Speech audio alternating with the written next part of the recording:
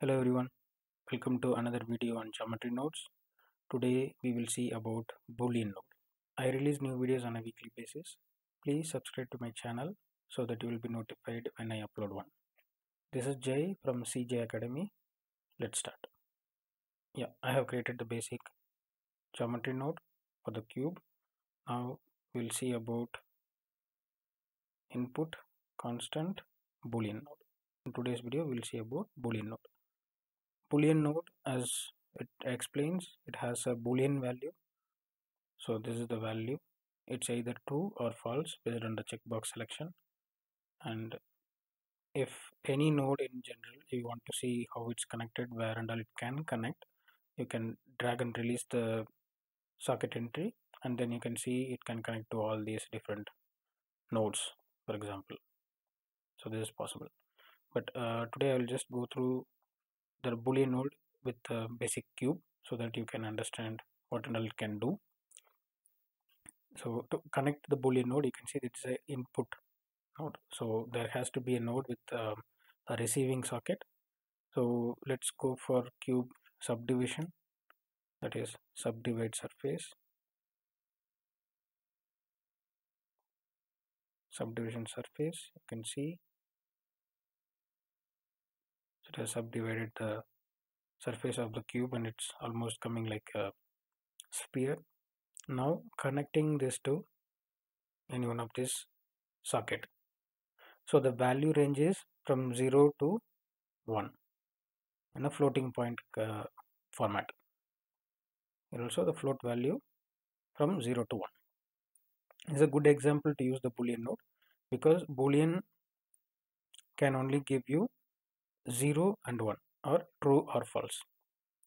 If you check this box it says true and true is considered as 1 in float value. If I say uncheck it then it is false. That means the value is 0 if you connect it to here it's the same thing. It says either true or false. False means 0 true means 1 okay. So we'll connect back to the vertex crease. So if it says 1 yes we want the vertex crease. It will just go to 1 then the vertex or the endpoints of this cube is preserved. So you get that nice sharp uh, structure. Now all the input especially input constant nodes are preferable having same input to be given in multiple nodes. If I go for shade smooth, which is normal for any object, you want to shade it smooth, you'll connect it here. So now it is smooth. This, if you see, it has a similar setup. It has a checkbox and it says true. If you check uncheck it, then it is false. Now this input you can control using this. Okay so this is the power of input nodes. So you can con control more than one input entries from the single circuit. so now if I say uncheck both of them are false then goes a zero. Here also it's false. Now if you see this is value is false and it is transferred as false.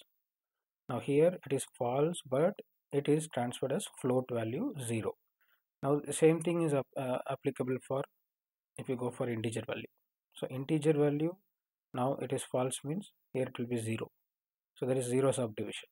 Now if I say yes then here it is 1 integer value because this is true.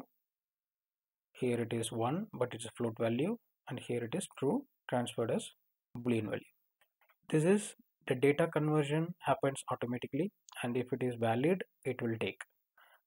It can connect to vector vector nodes also in the in those cases it will say whether the particular uh, node has a, a 0 as vector value or 1 as vector value. So transform geometry if I go just to show you how different uh, data type works. So now uh, we have translation is 0 okay? I connect it here. What it says true here.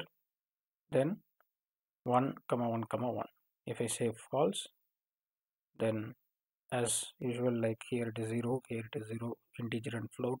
Here it is boolean value false. Here it is a 0 comma 0 comma 0 that means vector value. So a boolean value can be converted to different data formats as you seen here where it makes meaningful connection. There we have to use. So for using it for integer it doesn't make sense because integer means it can go for more than one but boolean is restricted to 0 to 1 okay? So wherever it is meaningful you can connect it and use it. And let's say now uh, you want subdivision okay? And you want the vertex crease to be restricted yes but you don't want it to shade smooth. Then we can go for boolean math okay? So you can connect it and say not so the boolean value taken as not okay is taken as true will be uh, given as false. So true is converted to false then shade smooth is false so it doesn't take it. Now if I check if I uncheck it then this is false taken as 0 here no vertex crease that's why it's smooth. At the same time here it is false and then it is taken as true so yes please shade smooth so using a boolean math uh, with a combine, com combined with the boolean node the input node you can control many different aspects of the geometry. If you find this video useful, please like it and share it with your colleagues. Please subscribe to my channel so that you will get more useful videos like this. Thank you. Bye.